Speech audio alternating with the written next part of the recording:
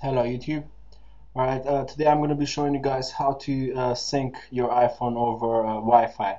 You can use this on any iDevices.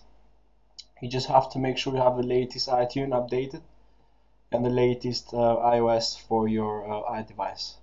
Alright, so first thing you want to do is launch um, iTunes. Make sure you have the latest iTunes. I got 11.1.3 Alright, um, so um, when you launch iTunes, you need to make sure you connect your iPhone with with your USB. So plug the USB, and then if you have a lock uh, pin, just unlock it for the moment. Alright, after that's done, you see your iPhone on your left bar here. So you click on it, and then you scroll down, and then you're gonna see sync uh, with this iPhone over Wi-Fi. So you say you tick that one and then you say apply and that's it it's done so what you do now let's try this out let me just disconnect this and let me just close iTunes and then open it again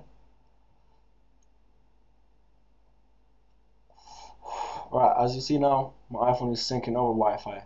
So if I say sync here now, it's gonna sync over Wi-Fi.